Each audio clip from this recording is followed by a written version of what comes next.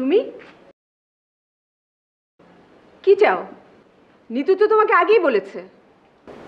আমি যে আপনার সাথেই দেখা করতে এসেছি আর আমি এও জানি নিতু এখন অফিসে তোমার সাথে আমার কোনো কথা নেই। মা আমাকে জাস্ট পাঁচটা মিনিট সময় দিন। এর একটি মিনিটও যদি বেশি লাগে না আপনি আমাকে বের করে দেবেন আমার আমার কোনো সমস্যা নেই। ঠিক আছে বলো।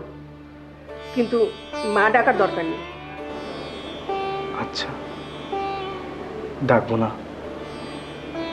আর মা বলে ডাকবো না। আমি জানি না মা। আমার মতো পোড়া কপাল নিয়ে কতজন জন্মেছে।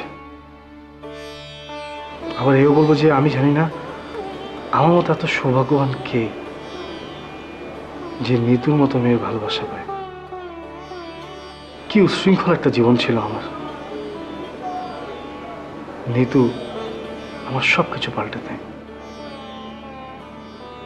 আজ আমি অনেকটাই বদলে গেছি শুধুমাত্র নিতুর জন্যে।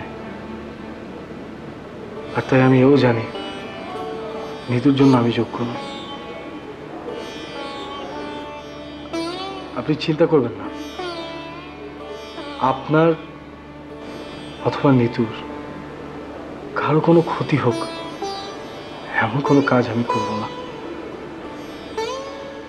কারণ আমি এটা জানি যে ঋতু আমাকে যতই ভালোবাসুক তার চেয়ে অনেক ভালোবাসে আপনাকে। জানোই যখন তখন আর কিন্তু মা ক্ষমা করবেন। ভুলে ডেকে ফেলেছি।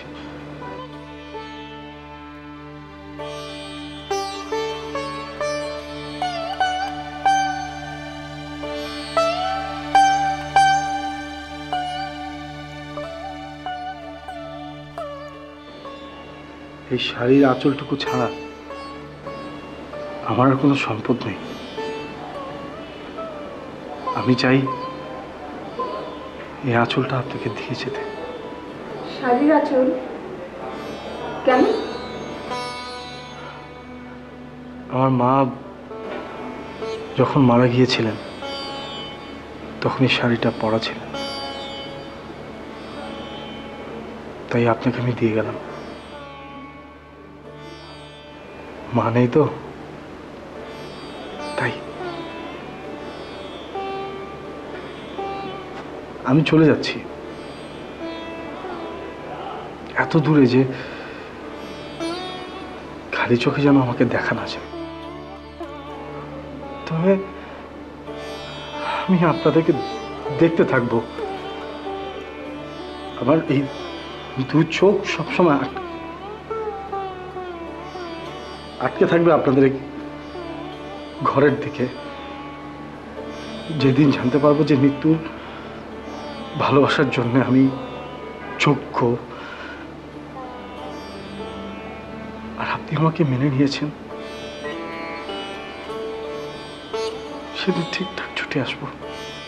আর যদি কোনোদিন মেনে না নিই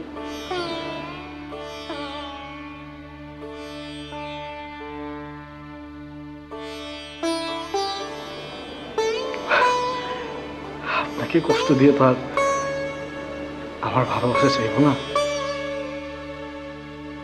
আমার কাছেও মা অনেক বড়।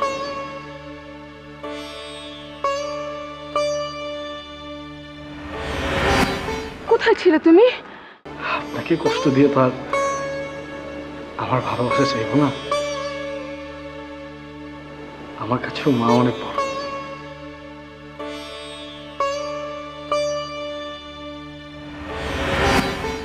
ছিলে তুমি? আমি জানতাম।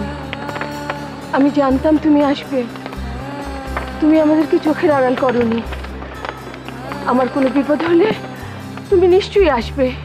আমি জানতাম। কিন্তু মা তুমি কেন চাইতে আবির ফিরে আসুক হ্যাঁ আমি চাইতাম ও আসবে। আমি তো আমি তো কে? আমি জানি আমার মেয়ের জন্য অনেক ভালো ছেলে পাওয়া যাবে। হয়তো তোমার থেকে অনেক বেশি ভালোবাসবে। কিন্তু ওর ভালোর জন্য ওকে ছেড়ে চলে যাবে, এমন ছেলে তো আমি আর পাবো না। নিতু এমন ছেলে আর আসবে না।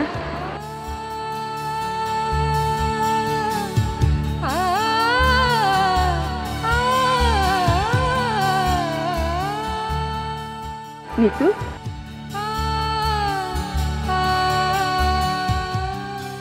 এই যে তোমার মার স্মৃতি তোমার সাথে থাকুক।